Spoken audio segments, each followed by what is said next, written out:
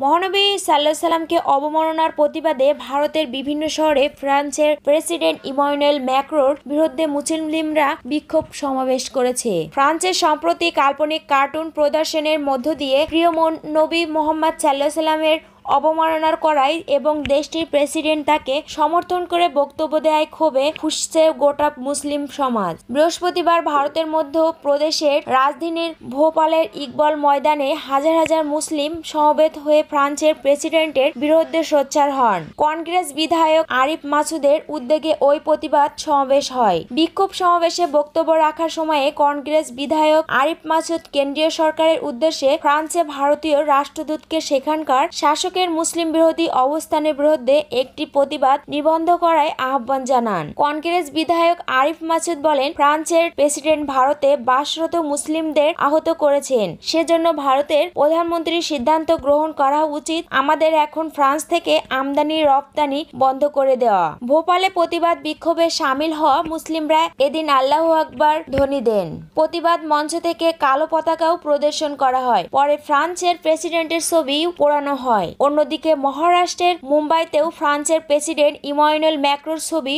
সড়কের মধ্যে লাগিয়ে দেওয়ার মানুষজন তা পদতলিত করেছে।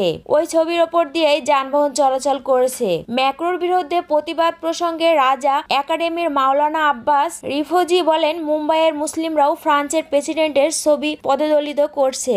মানুষজন যানবাহন, কুকুর, বিড়াল সবই ওই পোস্টারের উপর দিয়ে যাচ্ছে। মহানবী সাল্লাহ সাল্লামকে এর শানে ধৃষ্টতার জন্য এ ধরনের শাস্তি পাওয়া উচিত। অন্যদিকে গতকাল বৃহস্পতিবার উত্তরপ্রদেশের আলিগড় মুসলিম বিশ্ববিদ্যালয় চত্বরে ওই ইস্যুতে বিক্ষোভ মিছিল অনুষ্ঠিত হয়েছে। সেখানকার শিক্ষার্থী ও ছাত্র নেতারা এ সময়ে ফ্রান্সের প্রেসিডেন্টের বিরুদ্ধে স্লোগান দিয়ে ফ্রান্সের তৈরি পণ্য বয়কট করার আহ্বান জানানোর পাশাপাশি ফ্রান্সের প্রেসিডেন্টের পোস্টারও পুড়িয়ে দেয়।